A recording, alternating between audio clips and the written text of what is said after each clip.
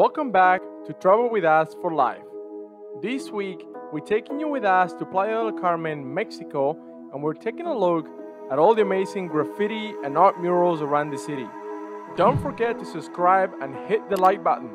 At first glance, Playa del Carmen probably won't strike you as having a big art scene. Sunny beaches, party, and tequila are probably the things that come to mind when I mention Playa del Carmen. But if you're willing to get out of your hotel and walk around some of the smaller streets away from the tourists and dig a little deeper, you'll find that there is in fact a large community of artists who live in Playa Carmen or that maybe come to visit and want to leave their mark before they leave. You can actually find these amazing murals all around the city, but here's a map with some of the best places to find street graffiti. We were in Playa del Carmen for about a month and probably came across, I don't know, 100 murals.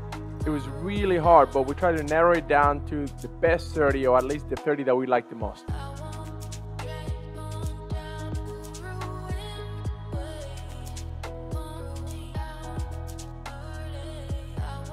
In my opinion, this was the best one, but what about you? Which one do you like the most? Make sure you let us know down in the comments below. My opinion, the best way to enjoy Playa Carmen's graffiti is to probably rent a bicycle for the day and ride around some of the smaller streets away from the noise and all the traffic. Renting a bicycle here is actually really affordable. You could probably rent a bicycle for the whole day for 100 pesos anywhere in the city. That's about 5 bucks, 5 US dollars.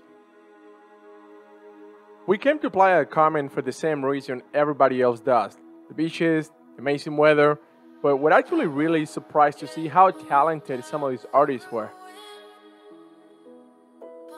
Playa del Carmen is a great destination, I highly recommend it. And if you ever make it here, make sure you take the time to ride around the city and enjoy the art. If you like this type of content, don't forget to subscribe so you get more awesome videos like this one every week.